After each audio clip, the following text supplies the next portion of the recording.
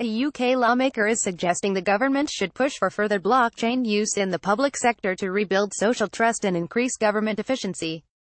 To achieve that, Eddie Hughes, a parliament member from the UK's Conservative Party argued in a report released on Wednesday that the government should appoint a public-facing chief blockchain officer, according to a news report from Cydia.m. The suggested chief blockchain officer should be focusing on shaping UK's strategy to utilize blockchain in public services with a long-term goal to reduce the government's annual expenditure by 1%, the report said. The lawmaker further claimed that a blockchain strategy led by the UK government would be an effective way to keep the country's competitiveness across worldwide countries. His suggestion comes at a time when an increasing number of startups are looking to advance blockchain applications in the UK under a regulated environment. According to a report released by the UK's Financial Conduct Authority FCA, over 40% of the 29 startups accepted to the financial regulator's sandbox cohort 4 are focusing on distributed ledger technology.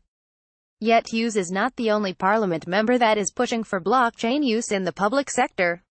The House of Lords, the upper chamber of the UK, Parliament also released a report in November stressing the opportunities for blockchain across government services, as previously reported by Coindesk.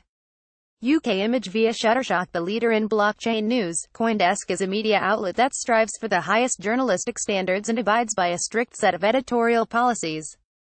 Coindesk is an independent operating subsidiary of Digital Currency Group, which invests in cryptocurrencies and blockchain startups.